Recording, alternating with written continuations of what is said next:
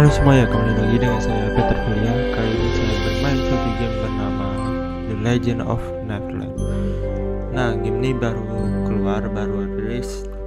Dan menurut aku game ini sangat cocok sekali untuk kalian yang free to play dan mau jadi pay to win. Tapi aku tahu dulu, free to play di sini bisa mengejar yang pay to win. Karena kita diberikan item-item untuk kita nge- ngegacha summon-summon itu dengan gampang sekali. Jadi enak banget dan kalian bisa lihat tampilan pertama ini adalah benefit offline jadi ketika aku offline aku bisa mendapatkan XP juga.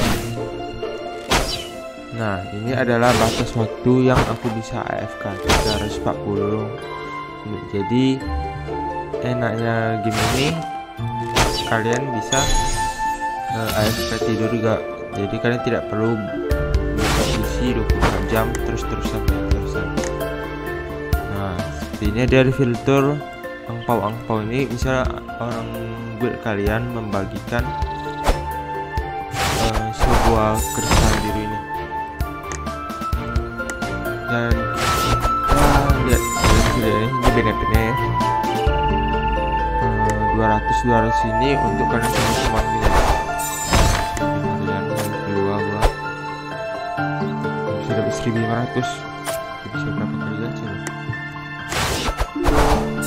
tadi ada tadi yang itu udah equip nih. Aku sebenarnya pengen jadi ini ya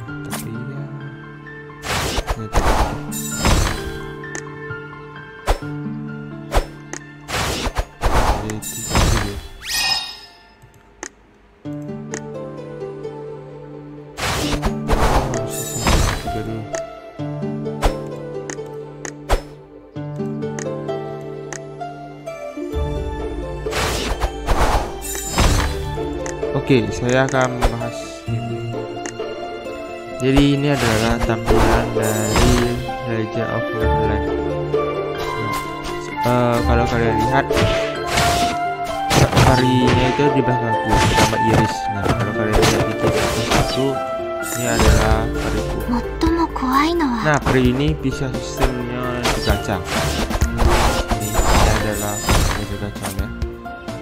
Tapi tenang saja kita dapat banyak sekali asal uh, seatnya, summon seat.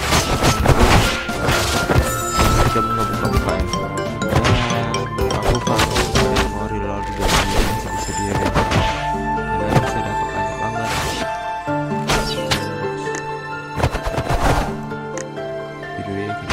ya nah eh, gameplay ini sebenarnya kurang lebih sama dengan Genshin kalau kalian tahu game Genshin enaknya game ini gak perlu kalian grinding terus eh, lawanan terus lawanan terus dengan momennya cari dropan yang bagus nggak perlu kalau menurutku karena ya untuk di awal-awal ini kalian hanya fokus ke quest quest quest. Kenapa? Uh, quest itu XP nya banyak banget. Kalau kalian bisa kejar sampai mungkin level 60 atau 70 lebih itu hanya memodalkan quest saja. Jadi kalian itu saja ke quest ya kalau saran gua sih. Oh di sini bosnya nah ini adalah seperti ini very very ya. Kalau gameplaynya kalian lawanan gini ini skill satunya dua tiga nah eh kalian tidak perlu menggunakan MP atau barang untuk seperti mana gitu. Karena dia cuma fokus pakai delaynya aja. Nggak perlu pakai MP atau apa pun. Eh, selama selama aku bermain game ini eh, aku jarang sekali melihat orang grinding grinding gitu karena mereka semua fokus kejar quest. Tapi quest ini bakal bakal berakhir karena nggak mungkin dong quest yang nggak habis. Jadi ketika questnya sudah habis baru mereka akan fokus untuk grinding. Tapi untuk awal menurut mending tidak perlu uh, kalian grinding tidak penting sekali sih di awal karena uh, equip kalian bisa dapat dari quest-questnya equip-equipnya terus kalian bisa dapat barang untuk kalian semua. Nah um, menurutku kayak atau enggak pasti enggak karena kalau kalian lihat ya. Di sini tantangan. Tantangannya aku sudah kelarkan berapa kali ya? Sudah lima kali atau lima kali atau enam kali dan itu kalau lima kali kali 250 pun sudah berapa kan? Banyak banget nih terus setiap hari setiap hari kalau kalian kerja bisa kalian bisa dapat poin 50 100 150 250 dengan 400 jadi kalian bisa mendapatkan banyak banget di sini poin-poin untuk kalian ngegacha. Nah, aku akan mencoba ngegacha dulu sekali yang 10 ya, biar kita lihat apakah bagus gak nih gacha di sini. Dan rate-nya itu kalau kalian lihat itu 0%, 0%, 0%, parah banget. Yang kedua ini 1%. Tapi ke, ke bawahnya itu 42%, gila besar banget. Kita coba dulu ya gua belum pernah gacha di sini tapi gua tahu kata orang gacanya mirip yang game sebelah ya aduh kita dapat kris ini dapat yang common common ya? Dapat yang common lagi nih oh dapat ungu.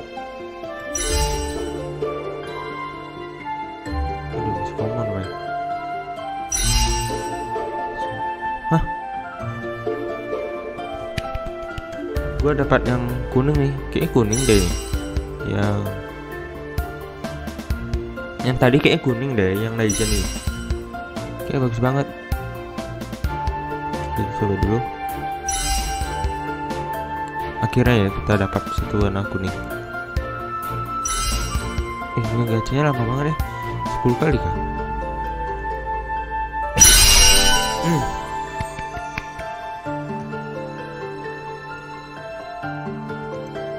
Kita dapat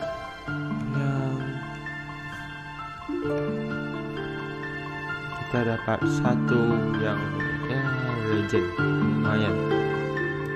Lumayan banget dapat satu legend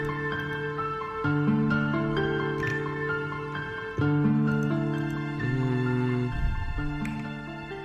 terus kita akan lihat dulu bos yang muncul belum. Karena tadi belum tahun kalau di sini akan ada bos. Jarak berakhir masih ada 10 tapi bosnya belum ada. Jarak berakhir ya bos. Berarti bosnya sudah selesai dong? Tapi belum ada muncul mau minum kan nih kita buka video ya. Nah untuk jobnya itu ada empat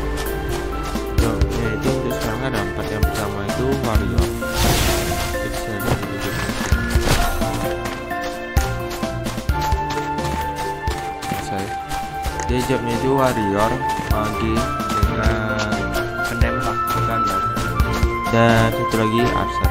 Ya nani kayo guys? Archer ini yang aku pakai ini archer. Tadi semua full XP ini ya nanti kita coba deh. Nah di sini tuh ada pertama ya. Misi ini seperti biasa boss giant boss itu yang tadi ya yang kita disuruh ke sana giant boss terus di sini ada runtuhan asen terus arena adventure kebun. Adventure kebun ini apa sih? Adventure kebun. Nah untuk reruntuhan itu ada sebenarnya dungeon. Kalau kalian lihat ini ada dungeonnya. Ini tampilan dungeonnya. Kita auto pencocokan aja wah gila semuanya sudah kuning kuning kuning kuning semua kalau menurut aku sih uh, kalian kayak nggak perlu reroll lagi pasti warna kuning sih di game ini ya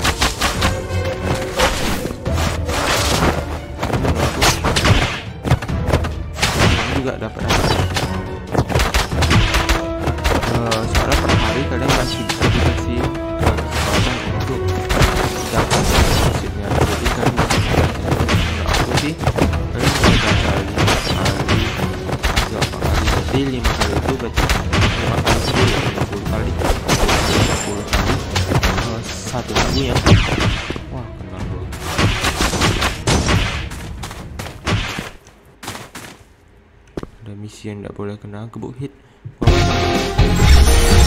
Nah kalau kalian tidak kena satu hit uh, kalian bisa dapat 350 terus kalian bisa dapat 200 lagi. Berarti kalau kalian lihat game ini benar-benar uh, free to play banget. Masih sangat free to play gamenya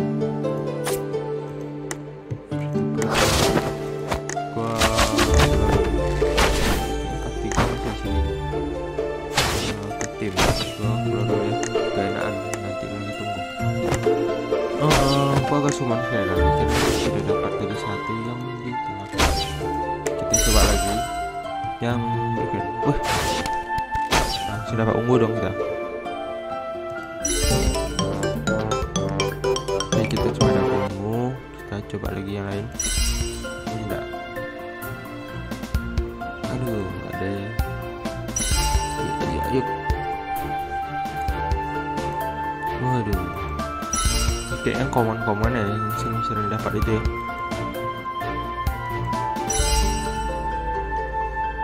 Atau kita pakai mereka nih untuk ditumbalkan untuk ke karakter yang besar. Untuk XP nya mungkin. Wah, kita cuma dapat ungu satu nih mas.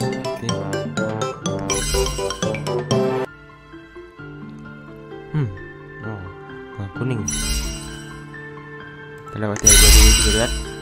Ah, os os is oke. Kita sudah dapat kuning satu. Oke deh, oke.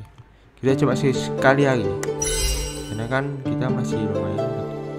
Hmm, kalau sudah ungu nih pasti kurang bagus nih berikutnya lagi. Uh, ungu tiga dong kita. Lumayan nih.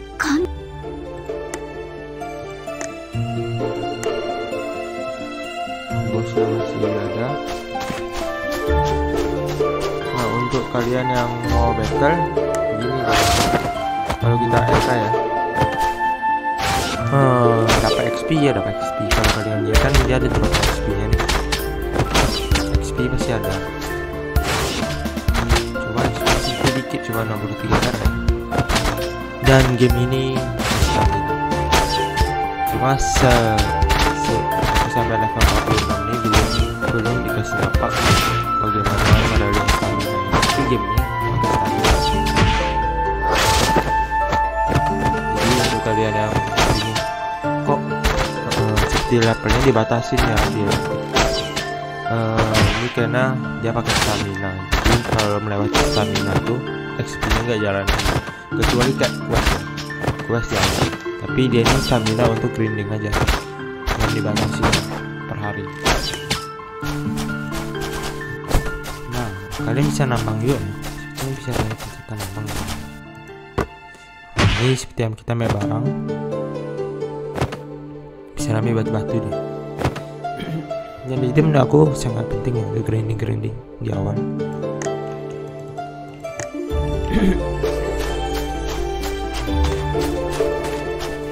nah ini adalah jadi cara kita battlein seperti biasa ya nah kita bi ini kan ini enchantment S2 enchantment yang kalau kalian dungeon itu belum tentu dapat 問題を解決するか問題によって解決されるかだ ikut ikut ini kan sebenarnya gimana ya menurut aku enak banget game untuk kalian yang ya, tidak mau top up sama sekali mau fokus main game ini sangat worth it sih menurut aku kalian tidak perlu keluarkan dana banyak-banyak gitu.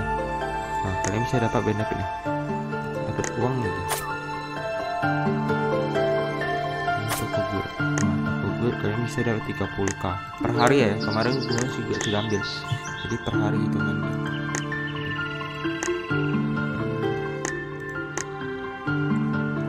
kita akan pasang dulu kan until ferry 星この詩を読み終えるまで待ってくれない？ここであなたを守るのどこにも行かないわ ini dia serangan kritikal Oh, seperti ini. oh dia bisa ngeheal ya karena nggak bisa ngeheal tapi kayak yang dua ini oh serangan juga roll itu apa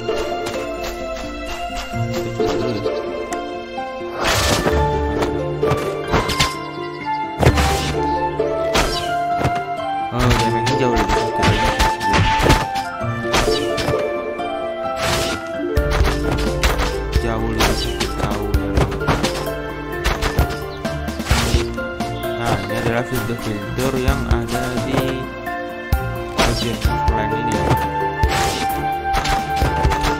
Nanti ada IDs ada quest ada koridor rahasia koridor rahasia juga jadi tapi koridor itu yang gitu dia ada satu dua sampai level lima. Belas itu adalah dungeon-dungeon yang kalian bisa lewati per tingkat terus ada perang corps ini aku sih kayak ngawar ngawar satu gitu loh ini juga ada event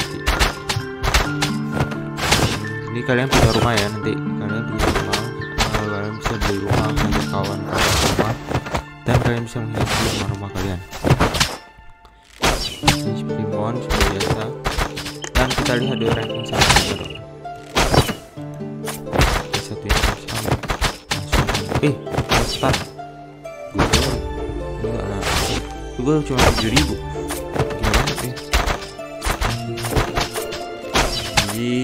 kalian main game ini bisa download itu ada di kalau kalian mau download silahkan download. Kalau kalian suka jangan lupa like